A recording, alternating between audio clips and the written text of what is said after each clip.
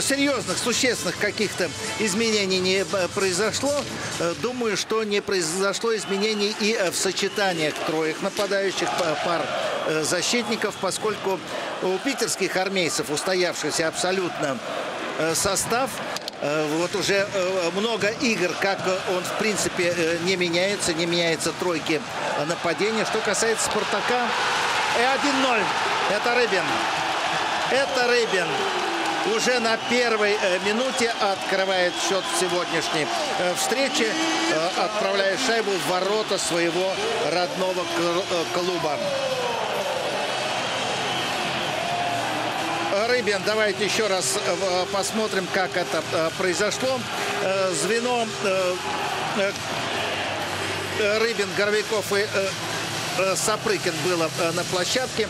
Хорошую передачу получает от Горовикова, нападающий питерских армейцев, 39 номер.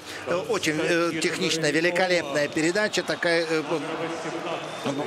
подброс через клюшку соперника. Континентальная хоккейная лига.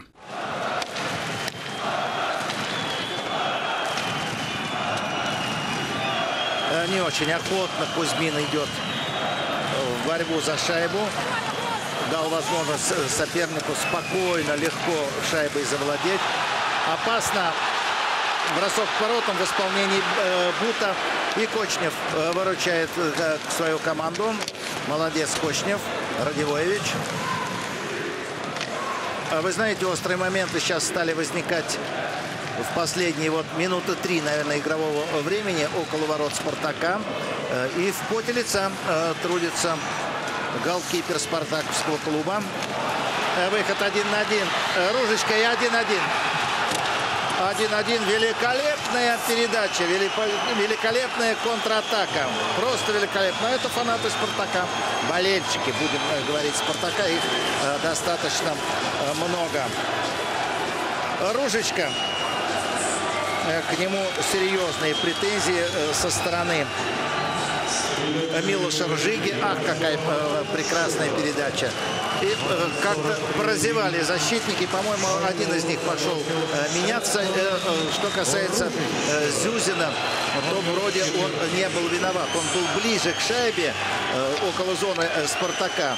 И его должны были страховать, а не он. Похоже на то, что на пересменке защитников попались армейцы сейчас, вот когда пропускали эту шайбу. Континентальная хоккейная лига. Не долетает. Видите, какие резервы у нас. Зубов не попал в орбиту олимпийской сборной. Зюзин не попал э, в орбиту. Зюзин, кстати говоря, очень неплохо э, выглядит. Ему потребовалось э, длительное время для того, чтобы акклиматизироваться в нашем хоккее после э, пребывания в национальной хоккейной э, лиге. Лет 10, наверное, он э, там отыграл. Так что не все так просто складывалось у Андрея. Ну, сейчас не знаю, как другие. Не хочу что-либо плохого говорить о других кто наблюдает за Зюзиным, я считаю, что вполне на месте, очень прилично выглядит в этом сезоне. И не собираюсь рекомендовать Быкову и Захарову, э, Захаркину кого-то. Ну вот. Э, это Чаянек. После великолепной э, передачи с Зубовым чистое преимущество реализовано. И доказывает лишний раз свое первое э, место по этому показателю э, в лиге армейская э, команда. Чаянек 2-1.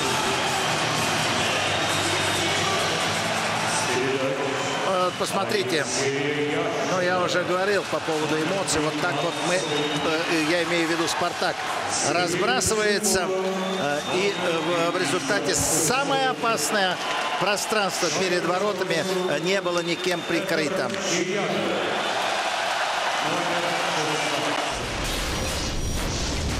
Континентальная хоккейная лига.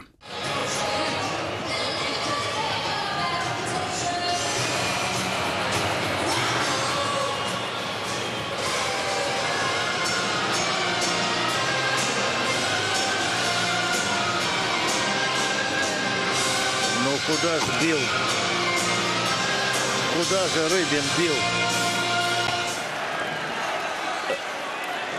Наблюдать за тем, что происходит э, на поле, стоя за спиной своих игроков. И так без эмоций наблюдаешь, как будут развиваться события. Радивоевич.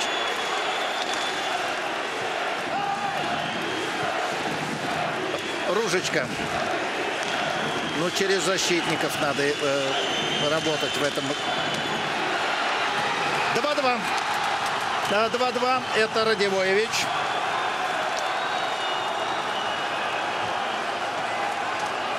И в четвером еще «Спартак» будет играть довольно э, долго э, против питерских армейцев.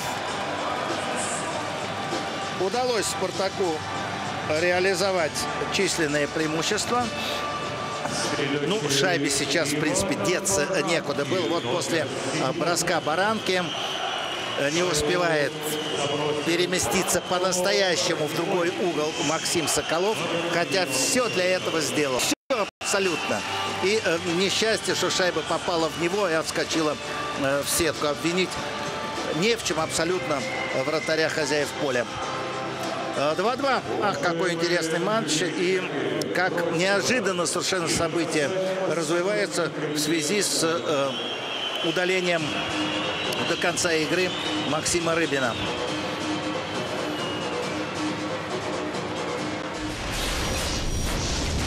Континентальная хоккейная лига.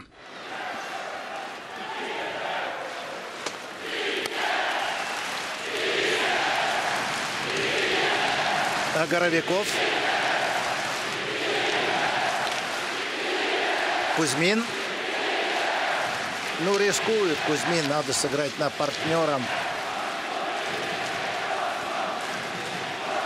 Это Щитов. Спартак делает смену, очевидно, поскольку защитник Спартака не торопится.